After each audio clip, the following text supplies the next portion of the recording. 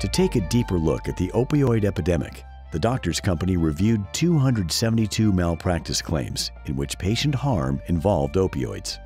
A majority of these claims occurred in the outpatient setting, including offices and clinics, surgery centers, the ER, and the patient's home. Methadone and OxyContin were more commonly involved in outpatient claims. Dilaudid, morphine, and fentanyl were more common in inpatient claims. In outpatient claims, the top admitting diagnosis was pain with no specified location. Other top diagnoses included pain in the spine, joint, or other extremity. Patient injuries were highly severe in 66% of outpatient claims, compared to 28% of inpatient claims. In these claims, patients most commonly alleged improper medication management or treatment, wrong dose, or wrong medication. The CDC's prescribing tips are now the gold standard for prescribing opioids.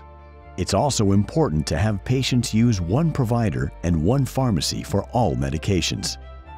Medication agreements should be used for all opioid prescriptions of more than three months duration.